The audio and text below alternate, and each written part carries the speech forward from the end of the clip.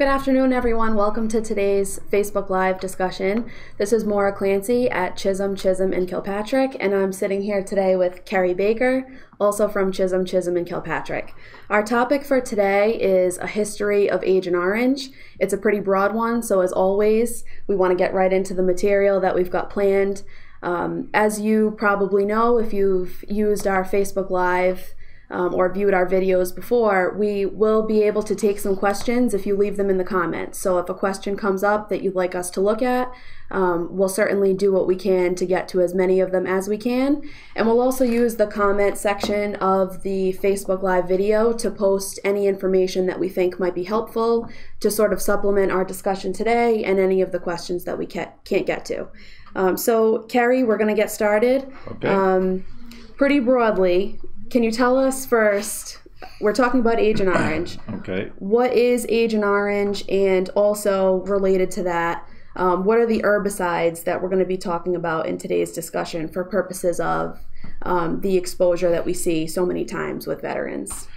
Okay, so Agent Orange specifically uh, was a mixture of two different kinds of herbicides, or 50 50 mixtures of 2,4-D and 2,4,5-T. And these were the normal butyl esters of each of those herbicides. Uh, so it was, and all that really means is it was a high, high volatile uh, herbicide. Uh, as opposed to a low volatility herbicide. Uh, so the vapors can damage plants a little bit more with higher volatility. So that's when you when you talk about the butyl esters. Uh, that's kind of what that means. But so 50-50 equal parts of uh, N-butyl ester of 2,4-D and 2,4,5-T. So that was Agent Orange. So each of them were herbicides on the market in their own right. Uh, and you can, and DOD and other agencies could get 2,4-D or 2,4,5-T individually. But Agent Orange per se was those two mixed together. And when we talk about Agent Orange, it sounds like it's one of several types of herbicides mm. that we know were used by the military, right. by DoD, etc. So, what are the other types of herbicides other than Agent Orange? All right, so uh, that's a really good question because VA doesn't, uh, VA's rules and regulations, as you know, in their statutes, and they don't use the, the, the term Agent Orange, uh, even though that's what everyone else uses. They use the term herbicide agent. Um, and so, and that's because there were, like you said, there was multiple other herbicides that were used in Vietnam, uh, and those were known as kind of the rainbow herbicides, and they were Agent, uh, obviously Agent Orange, but also Agent White, Agent Blue, Agent Pink, Agent Green, Agent Purple, um, and all of those were a mixture one form or another of 2,4-D, 2,4,5-T, the two in Agent Orange, or picloram uh, and cacodylic acid. So in breaking that down a little bit more, Agent Blue, for example, was one that was used quite often. That was cacodylic acid, uh, which is about 34% uh, arsenic. So, uh, so also not probably very good for you. Mm-hmm. Uh, picloram, uh, Agent White, was 2,4-D and picloram. Uh, and the mixture was also known as Tordon 101 uh, on the open market. No difference in the two whatsoever, even though some some people say there there were uh, they were different. They were not. Um, and same thing with Agent Blue.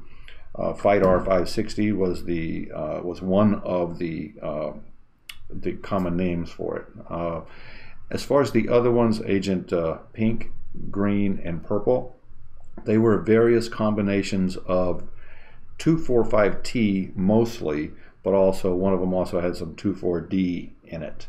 Um, so when I say combinations of 2,4,5-T, uh, as there were different kinds of esters, you know, mm. some lower volatile, some higher volatile, and some of them was, were mixed together to form, uh, you know, uh, some of those other. But they weren't. There was those were used earlier in the war. So we talk about Agent Orange because, from what I understand, it was the agent that was most used the most on a most widespread basis in Vietnam correct. throughout the Vietnam era. So yeah. most frequently and for the longest period of time. That's correct. Yeah. But herbicides, for the purposes of VA's regulation and the statute, are what we're talking about. So we're not just talking about Agent Orange. We're talking about the other herbicides that Kerry was just mentioning. Mm-hmm. Um, Agent Orange is just the term I think that's coined because of how frequent and for how long it was used. Correct. And why were all of these herbicides used during the Vietnam era? Two main purposes, and it was. Uh, uh, crop destruction. All right, they wanted uh, the government wanted to destroy the the crops of the enemy, so to interrupt their food supply, and also to destroy the foliage in the jungles. Um, that's where a lot of uh, ambushes were taking place, so you could open up fields of fire. So, in, in essence, to provide a little extra safety to our troops so they wouldn't get ambushed quite so easily. So, before the herbicides started to be used for these purposes, mm-hmm. um, do you know who was behind the development of these substances? Uh, that's a, a few different entities were mm-hmm. behind. I mean, herbicides, in talking about 2,4-D, 2,4,5-T mostly, had been around since World War II. Uh, and they were near the excuse me near the end of World War II. They had even looked at using herbicides in a tactical environment um, back back as far back as uh, you know the late 40s. Mm-hmm. Um, but also they, they, they were interested in using them in the Korean War. They never did, uh, as far as we know, uh, but there was some interest in that. Um, so these were herbicides that were in use, but once the, the kind of started into the Vietnam era, uh, Fort Detrick and the Chemical Corps, Army's Chemical Corps, kind of uh, started testing various types of different combinations of herbicides to see what they thought would be the best for the jungles of Vietnam. Also, uh, ARPA at the time, or DARPA as most people know it now, uh, was heavily involved in uh, in that research as well. ARPA is the Advanced Research Projects Agency, now the Defense Advanced Research Projects Agency. So it was a mix of DARPA, uh, the guys at Fort Detrick, um, you know, and just taking herbicides that, that, were already on the market and figuring out what combinations uh, were the best to use. So it sounds like they were ramped up in terms of their development and in terms of getting the together the substances that would be used in Vietnam. But this is something that pre-existed Vietnam. Right. Had sort of been in formation years prior to that. Right, and and just just so the you know the audience knows, if we could do you know stories on top of stories mm-hmm. on the development. There's a lot more to it, and that's just the kind of the 10,000 foot version. Um, but there's no reason that we really need to, to go into that level of detail on it. So for for however long these herbicides had existed prior to their use, mm-hmm. um, probably just previous to the Vietnam era when they started to make the specific herbicides that we now know to be Agent Orange and the other types of things that were mm-hmm. used. Do you know of any testing of these substances that happened before their widespread use in Vietnam? Uh, yes, they had been testing these throughout the 50s in various places. Uh, they, well, they started testing them in the 40s. Uh, they were testing them in the 50s, and they were testing them uh, quite a bit in the early years of Vietnam, both in Vietnam. Uh, so, sort of while they were using them, they were also testing them, is one way to look at it.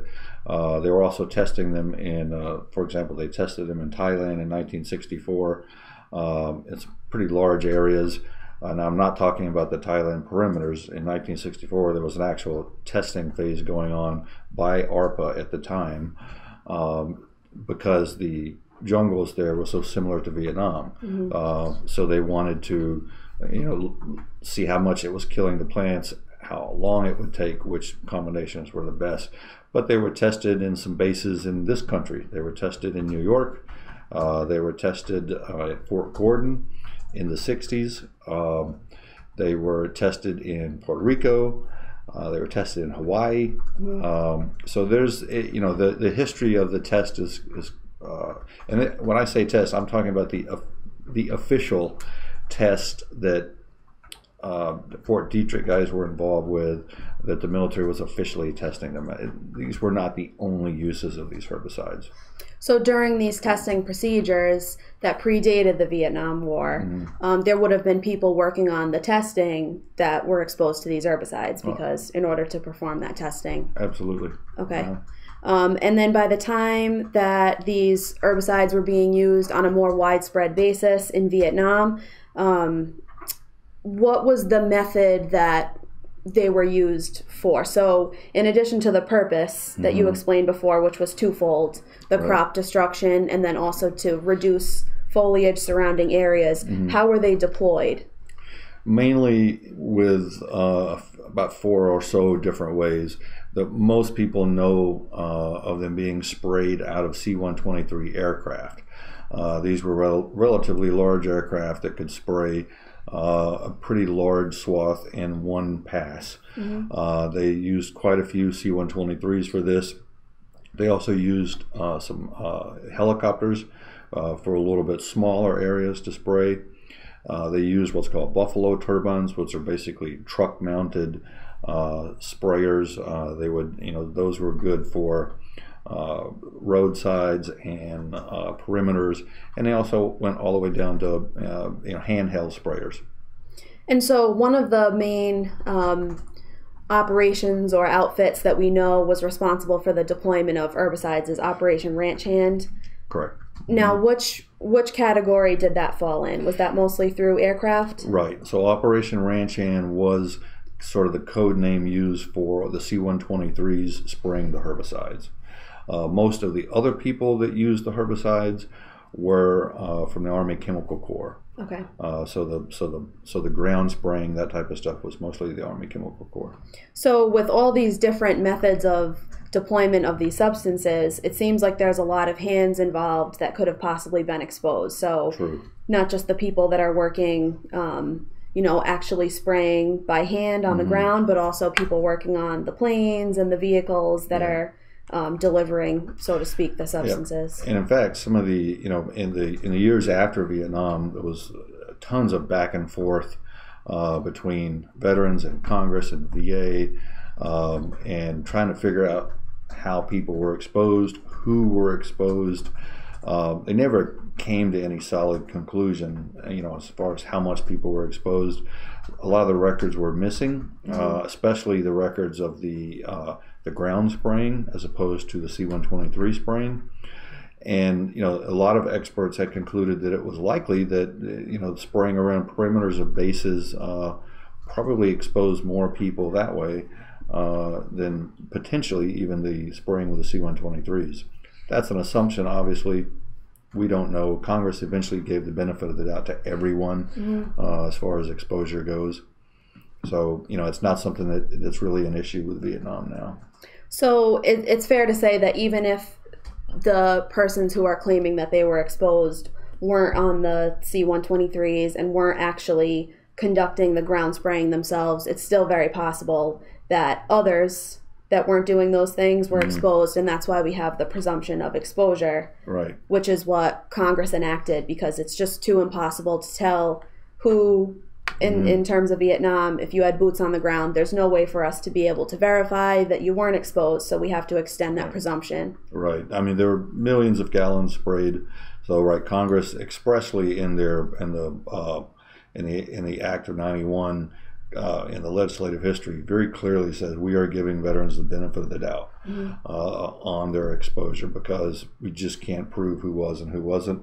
And you know, most people certainly probably were to some degree or another. And at some point, um, the decision was made to stop using herbicides in mm-hmm. Vietnam. Um, do we know around what time that happened and what the reason was for that? There were a lot uh, there were a few instances of sort of back and forth where the White House uh, and the commanders were were kind of hesitant to stop it, um, and then they were going to stop it and not stop it, and then they were going to limit the use of it, and so that I'd say that the details of that history is probably not important. Uh, but they did eventually stop using it uh, aerially, um, in other words, out of the C 123s in 1971.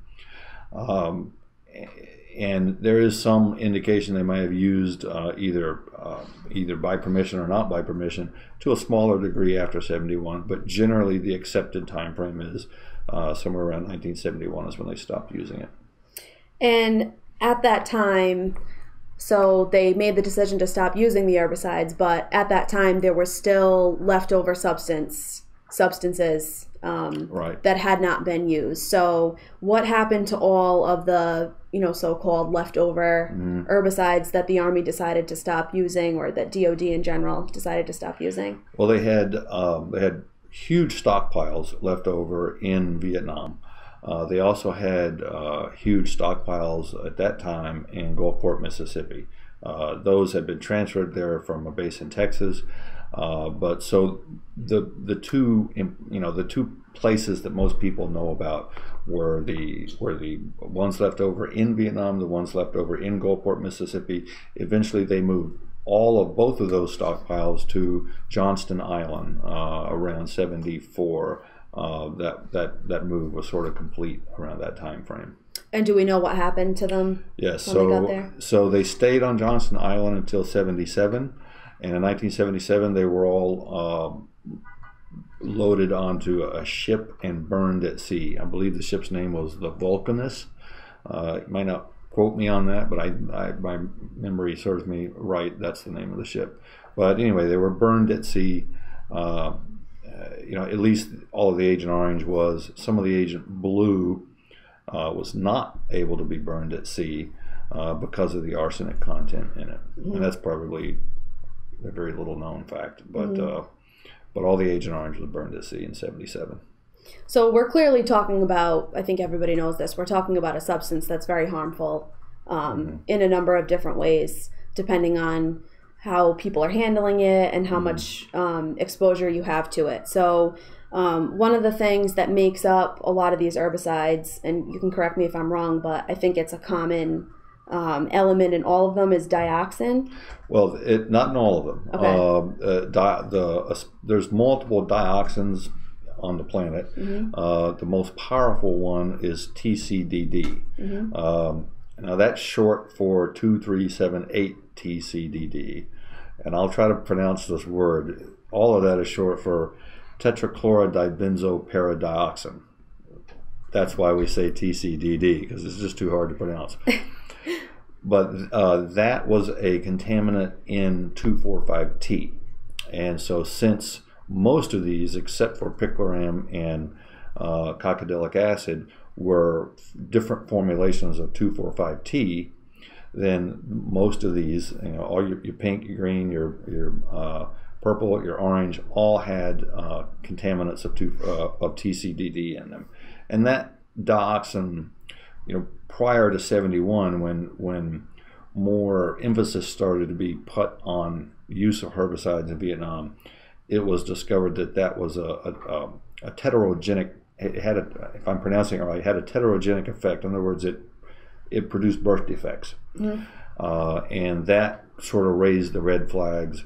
And that's why it was eventually stopped used, uh, stopped being used in 71 and that's jumping forward a little bit. That's also why the government banned all of its use in 1985. Mm-hmm. Um, most people get that a little confused. They, you know, the VA will come back on a lot of claims if you're not talking about Vietnam.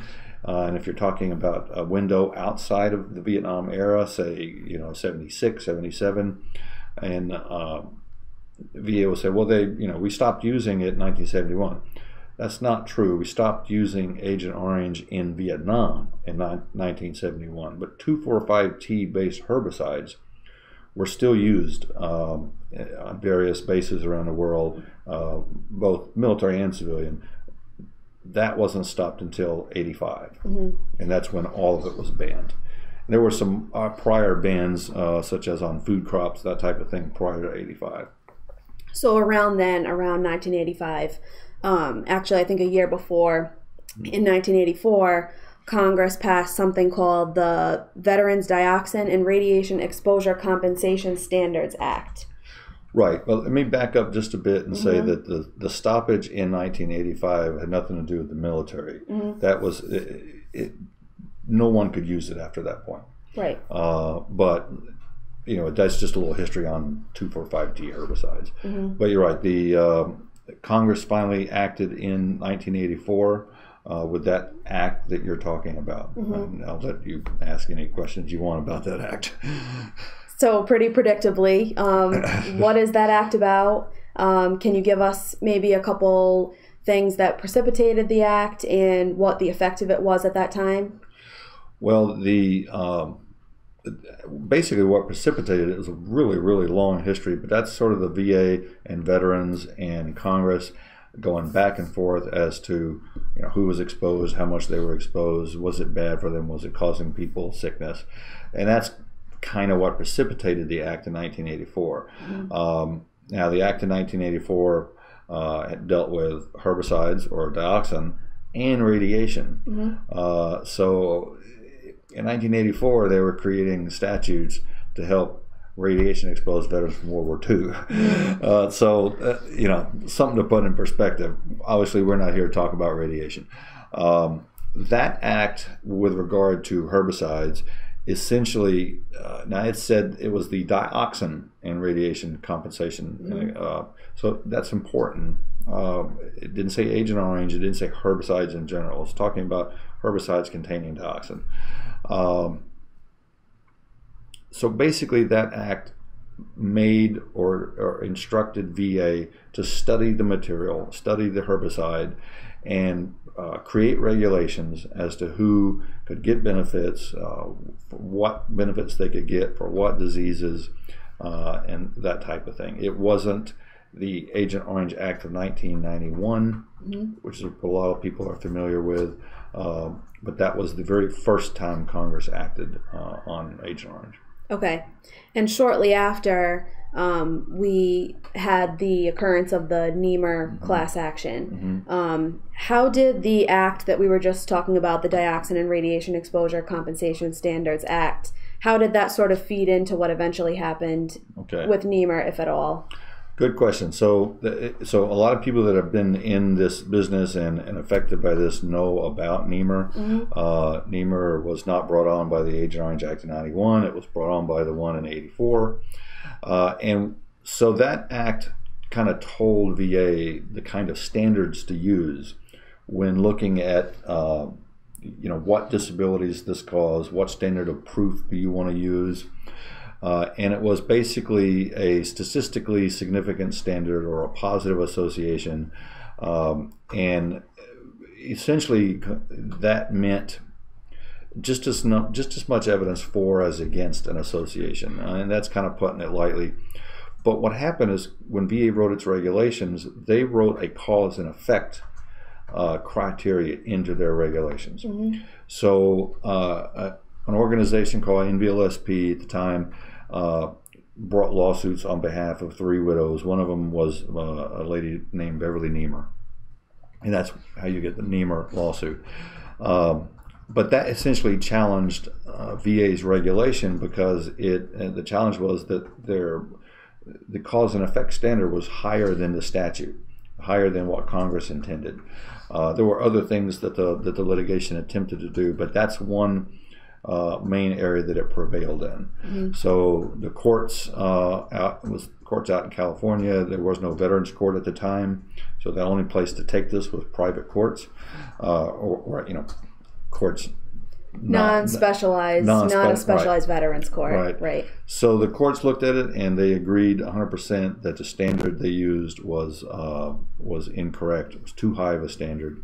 So what they did was essentially uh, they invalidated the regulation mm-hmm. uh, and and told VA to re-adjudicate any claims that have been denied under the then uh, uh, invalid regulation. So basically, even though the act had said um, not the cause and effect standard, but the sort of close to the at least as likely as not standard, mm-hmm. the positive association standard um, for a while, VA was adjudicating claims based on their regulation, right. and the regulation required that higher standard. Now, right. this is all predating the presumption that we have today of exposure. We sort of talked about it before.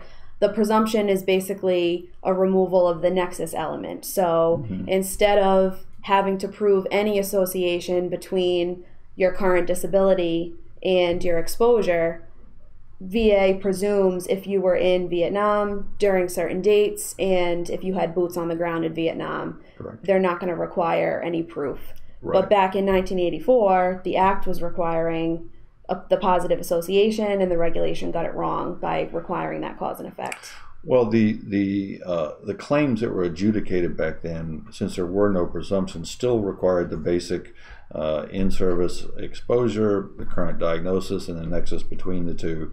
Uh, the so that act, the '84 Act, didn't necessarily reduce uh, the standards of uh, proof for service connection, but it set up the eventual.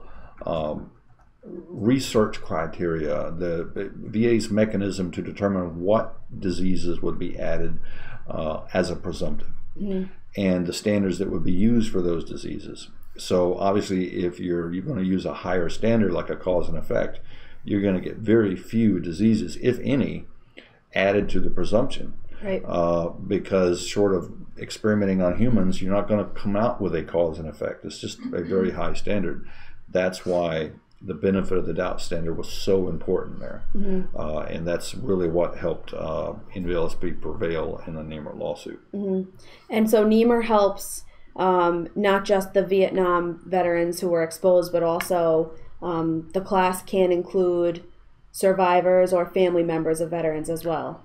Yeah, so not to get too much into Nehmer, but uh, if, you know, the, as far as who gets benefits under Nehmer, uh, first it, it it goes to class members, a Nehmer class member. A Nehmer class member is the veteran who served in Vietnam or the veteran's uh, surviving spouse, child, or parent.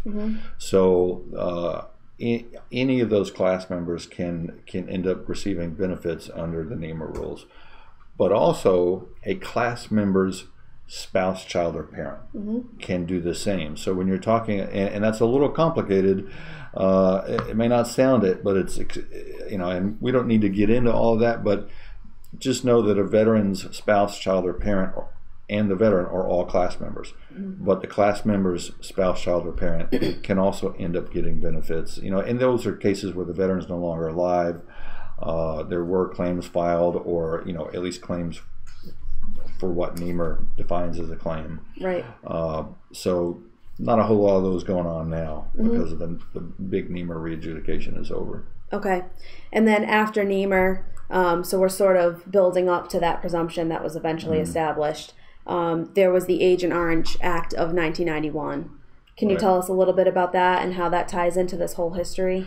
So that act and a lot of the, the Nehmer final stipulation in the order that was signed by VA and the councils, uh, a lot of that came about very, very at, almost at the same time as the Agent Orange Act of '91. Um, so the Agent Orange Act of '91 established presumptions for certain disabilities, but then also required VA to uh, contract with the Institute of Medicine every two years to uh, determine if there was research that existed out there between the herbicide agents and certain diseases that showed, you know, that hey, look, there's a there's an association between this disease and the exposure. So going forward, every couple of years, the IOM had to put out its report, and they would classify various diseases in different categories, um, and depending on which category, if it was high enough up in the, I guess you could say the st- statistical association between the disease and the herbicide, then VA could add that disease to the list of presumptive diseases, and that's how we got diabetes and uh, you know a whole bunch of the, the disabilities on the presumptive list. So then it sounds like up until 1991, there were no presumptions at all for any particular conditions. Not a, not a you know not not under the Agent Orange Act of '91. Right. no. And then so after that, um, on an every two year basis, per the contract with the Institute of Medicine, there were even more reveals going on about um, people just finding out new information or, Right. you know, bringing to light maybe old information about what can be caused by exposure. essentially right the various entities you name it will, would be doing research on on topics of 245t or other agents and determine, you know, it, it, the longer time went, the more people they had to kind of uh, kind of do research mm-hmm. on, and you know, some of these diseases take a while to to kind of catch on to somebody. So uh, that's why you're you're getting a little bit more added every every few years. Uh, but now the tie to that and Nehmer, uh, it was that under the Nehmer guidelines, VA was to re-adjudicate any claim uh, that had been denied for diseases that were added in the future. So, it, you know, so, so, for example, heart disease was added in 2010. Um, there was a, over about 150,000 of those cases that required re-adjudication uh, when VA added uh, ischemic heart disease to the regulation, uh, even though the, the heart disease was added under the Agent Orange Act of 91 and the Nehmer court battle started with the 84 Act. Mm-hmm. So it's, uh, you know, the Nehmer really drove uh, a lot of what we have now uh, with, with herbicides. So it sounds like a pretty big undertaking for VA when it comes to light that there's a condition that should be on the presumptive list and is added to the list, they have to now backtrack um, several years, decades mm-hmm. really, yeah. to figure out if there's evidence in a claims file or if they were on notice that a veteran had this particular condition. They need to re-adjudicate that claim, and also, mm-hmm. um, from what it sounds like, they also need to see if there was the diagnosis, and then even not the explicit claim, they need to adjudicate whether that person is entitled to service connection. Right. There's there's under the Nehmer rules. There's multiple mm-hmm. ways uh, to to prevail. Uh, obviously, the easiest way is, is, if you filed the claim prior to that disease being added to the regulation mm-hmm. and it was denied, and then they add that disease later. Uh, but there are some other ways um, to show that someone has a Nehmer claim. Mm-hmm. Uh, I mean, I don't know that we need to, to get into all of that because it gets pretty deep into the mm-hmm. weeds but uh, you know Nehmer's a little bit more relaxed on what a claim is mm-hmm. uh, than you, than your than most VA regulations. Okay, and we sort of alluded to this a little bit earlier. Um, we've been talking about Vietnam quite a bit, but um, obviously herbicides were present and used in a lot of other locations. Mm-hmm. Um, Vietnam is the only location where if a veteran served there, there's this presumption, the boots on the ground presumption. So, um, sort of there's others. There's others. Okay. Right. Do you want to talk about um, a couple others? I'm thinking of the Thailand. Uh, as far as the presumption goes, as far yep. as the presumption of exposure, mm-hmm. you've got the Korean DMZ mm-hmm. in the in the late '60s, early '70s. Uh, I believe 68 to 71. I don't have the exact dates in front of me, mm-hmm. uh, but so if you were uh, in a unit that was on the DMZ uh, between that those those dates between 68 and 71 then you're presumed exposed. Okay. Um, now that I, and that's a little tricky. I say that if you were in a unit that was on the dmz you sh- you just need to show that you were on the dmz where the units come into play is is because it's written into the law that you know VA will check with DoD and determine what units were there certain units were known to basically work on and around, or you know, not in, but on and around the DMZ. And it's not the unit that establishes the presumption of exposure, it's because those units were known to be on the DMZ. Right. So it, it kind of makes it easier if you were in those units. But if you were in some other unit, say three miles away from the DMZ or five miles away, away from the DMZ, if you can credibly show that you went to the DMZ, the presumption is still supposed to apply at that point if VA concedes that yes, we believe you were at the DMZ. Mm-hmm. So it's it's service at the DMZ that drives the presumption, not necessarily service in one of the units. But that's the same type of presumption that's extended to Vietnam veterans. Right, as long as you as long as you fit those qualifications. Uh, Thailand does not have a presumption mm-hmm. uh, per se. It's a case by case scenario um, as with just about any other location. Mm-hmm. And we did a except there's a lot of there's always exceptions. Yep. Uh, and we also have the C123s now. Um, the, not a whole lot of those cases. Uh, those were situations where the C-123s after the Vietnam War were, were stationed back in the states uh, because they sprayed so much using those C-123s if you were in one of those units and routinely worked on C-123s, you could be presumed exposed in that scenario. Okay. Well. And we did a video a few weeks back that talked about Agent Orange in Thailand specifically. Um, a lot of it um, deals with what Kerry was talking about, how it's not a presumption per se, and what the sort of factors that VA will look at on a case by case basis if a veteran served in Thailand and claims that they have a disability that's due to their exposure to herbicides there. So definitely feel free to take a look at that. Um, we'll probably post it in the comments. Um, here to this video as well. So that should also contain some information that's more specific to Thailand. Um, so, in addition to the Vietnam presumption and the presumption that we just talked about that extends to mm-hmm. Korea, there's also a lot of veterans that may have been exposed that are not included in the presumption.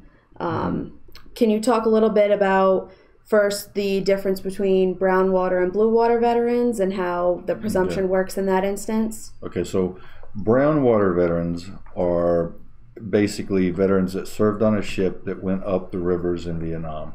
That that's considered in-country service. Mm-hmm. So, and I, you have to show that you were on the ship. But if once you get over that hump, uh, that's that's the same as being boots on the ground. Um, blue water veterans is a little bit different. You have instances where a ship may have docked uh, ashore, or a ship may have anchored offshore uh, in a bay, or a ship may have served uh, you know, miles off the coast. Uh, those are a little bit more tricky. If you if your ship docked ashore, you, you just need lay evidence, which can be a veteran's credible statement that they left the ship and went ashore because everyone did. I mean, you're not going to be out at sea for years and and dock to a shore and not leave the ship, right? Uh, unless you're in a brig or something. Um, if you were anchored offshore and the ship sent people ashore, in other words, the VA has records that the ship sent folks ashore, uh, the veteran can usually uh, state credibly that he or she was part of the people that went ashore. VA could potentially concede herbicide uh, or presume herbicide exposure there if they concede that you went ashore. And that's kind of the same thing with the ships farther off as well. Okay. Um, and while we're talking about the brown water, blue water distinction, and specifically about, about blue water vets, um, we have a question from Virgil. Virgil, thanks for the question. The question is Do you think that the 12 mile limit will be extended for blue water Navy veterans at some point? Okay, first, and I appreciate that question, Virgil. Uh, as of today, there is no 12 mile limit because the blue water legislation, if that's what you're referring to, has not been passed, uh, nor have the courts uh, implemented or done issued any decisions that that implement the uh, the blue water uh, rules. The 12 mile um, limit, eh, you know, is, is, some discussion of if they if, if, VA was to add blue all blue water veterans to the presumption, mm-hmm. at what point, uh, you know, are you considered uh, presumed exposed, at what point not? And you know, so the 12 mile, uh, 12 miles off coast has been discussed um, as as that may be where the waters of Vietnam ended. We don't know yet. I mean, right now we have to get the blue water guys uh, presumed before the 12 mile uh, limit will even be an issue. Okay. And so while we're talking about that, um, that was good timing for that question, I think, because I was just about to ask what the status of the blue water legislation was at this time. I know we've given some updates as we go, um, sometimes in our Facebook Live discussions that we have. Um, do we have any current updates as of today? Anything different? Uh, what we know is, I believe it's HR 299 is the bill, but uh, I could be wrong there. Uh, but it, the bill uh, it's already passed the House, went to the Senate. The Senate's had a hearing on the bill, and that's where we stand at the moment. We don't know for sure whether the Senate's going to pass it. Uh, if they do, uh, you know, for those that aren't familiar with the legislative process, the, the same version that was passed in the House has to be passed in the Senate. So if the Senate does end up passing one, let's say it's different, then it has to go back to the House, mm. and they have to pass the same one. Um, so you know, uh, during the hearing, we know that VA was kind of pushing back against it, as we all suspected they would. Um, but whether they've convinced the Senate to stop their action or not, we don't know. Uh, I'm sure someone does, but we mm-hmm. don't. So it sounds like we're still in the midst of it, still waiting for um, the next step to happen. Right. Um, so we'll certainly keep everybody updated on that because we know that a lot of people are interested in the course of mm. uh, that legislation and certainly our office. So um, we'll be keeping an eye out for that. Um, I want to conclude by talking about um, something related to Agent Orange that we may have been seeing more recently. Mm. Um, so, from what I understand, and maybe you can explain this a little bit better, but studies have revealed that TCDD, which we talked about earlier, which is an active ingredient in Agent Orange, has also been found in air samples from emissions at burn pits. That's correct. Can you talk a little bit about um, maybe what that means in terms of will we ever see a similar presumption that's been created for the Vietnam veterans, for burn pit veterans? Is the evidence just not there yet? What are your thoughts? If it's left up to VA, I can probably safely say we will not see those presumptions. Um, but it, you know the the presumption of service connection, say for lung cancer, as an example, one of the diseases listed in um, for Vietnam vets. You know that presumption is invoked when a veteran is exposed to a herbicide agent. Mm-hmm. One of the herbicide agents, as defined in the regulation, is TCDD because it says 2,4,5-T, which is the herbicide, and its contaminant TCDD. So TCDD here, if you're looking at just that herbicide, that's the culprit. That's the contaminant. That's the dioxin. The exact same dioxin, uh, as well as a bunch of others, and a bunch of other uh, toxins, were produced by the burn pits.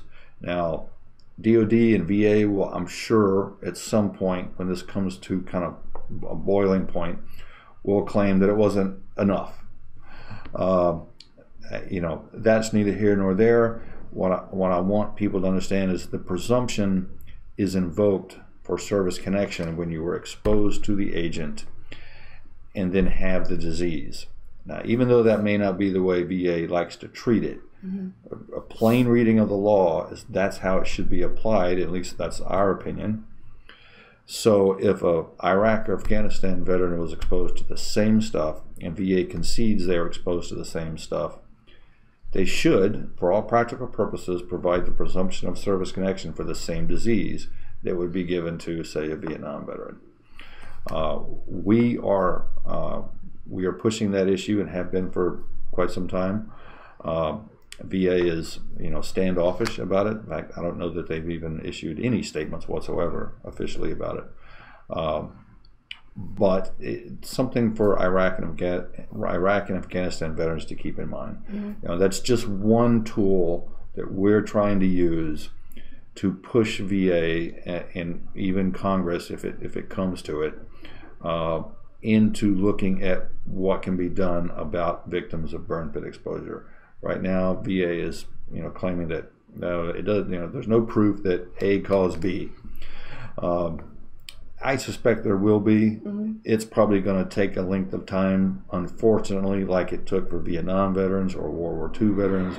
We're trying to use the law on the books right now, based on the exposures we know about right now, to help the guys out. And that's just one extra tool in our quiver that we're trying to put to use. Mm-hmm.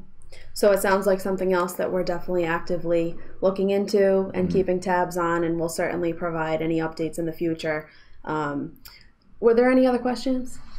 So if that's um, if that's it for the questions, Kerry, thank you so much for teaching us about the history of Agent Orange today.